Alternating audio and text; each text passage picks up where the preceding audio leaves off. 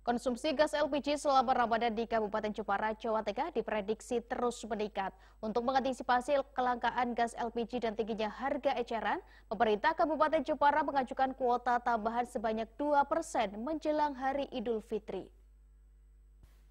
Tingginya aktivitas warga Jepara untuk menyiapkan sajian kuliner di bulan Ramadan mengakibatkan konsumsi LPG terus meningkat. Tingginya konsumsi LPG ini, pemerintah Kabupaten Jepara sudah mengajukan tambahan kuota LPG sebanyak 2 persen dari jumlah total konsumen LPG setiap bulannya.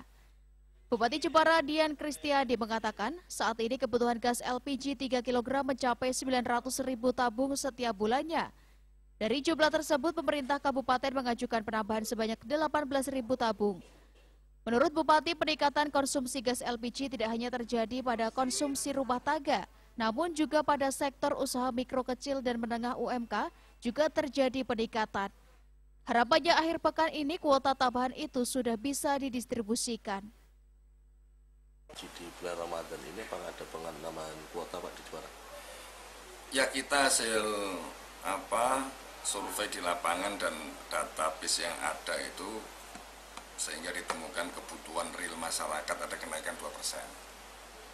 Kita mengajukan kenaikan tersebut kepada uh, pihak Pertamina agar supaya kebutuhan di Jepara ini terpenuhi.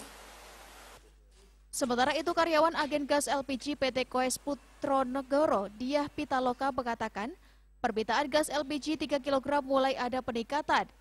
Namun sampai saat ini belum ada penambahan kuota gas LPG. Di agen gas LPG tempat dia bekerja setiap hari mendapat jatah 1.680 tabung. Tidak tahu sih, Jadi kalau kita kan tidak dapat, tidak ada apa, tidak ada tambahan, tetap kuotanya tetap. Permintaan masyarakat? Permintaan masyarakat yang pengen nambah sih. Hanya ada peningkatan dari masyarakat permintaannya ada tambahannya. Uh -uh. Kuota harian berapa mbak? Kuota harian kalau satu DO kita tiga. 1680.